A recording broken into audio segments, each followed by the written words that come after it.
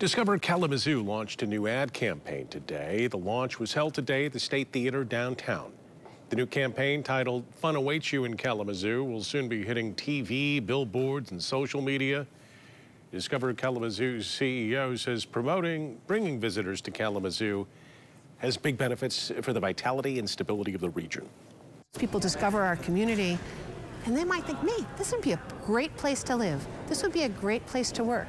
This would be a great place to raise a family. This would be a great place to advance my career. It all begins with a visit, and when we bring that population growth, it just has all those exponential benefits. Also at today's press conference, the Michigan Economic Development Corporation kicked off a regional talent retention and attraction pilot program called Make My Home. The program will award $500,000 to communities statewide to attract and retain talent in the state.